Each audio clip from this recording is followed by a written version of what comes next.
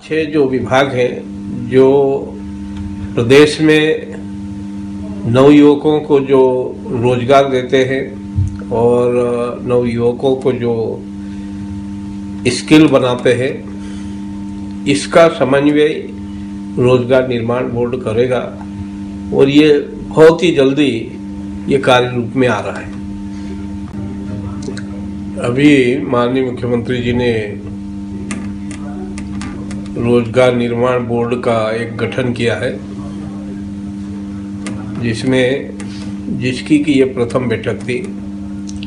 और इस बोर्ड के अध्यक्ष माननीय मुख्यमंत्री जी हैं, और उपाध्यक्ष उद्योग मंत्री हैं, और जो रोज़गार से संबंधित पाँच विभाग के मंत्री उनके सदस्य हैं, और बाकी विभाग के जो प्रमुख सचिव हैं, वो भी इसके सदस्य हैं। रोज़गार निर्माण बोर्ड जो बना है, उसका एक कार्यकारी अध्यक्ष भी अलग से बनाया है और उसमें अशासकीय सदस्यों का उसमें मनोनयन होना बाकी है।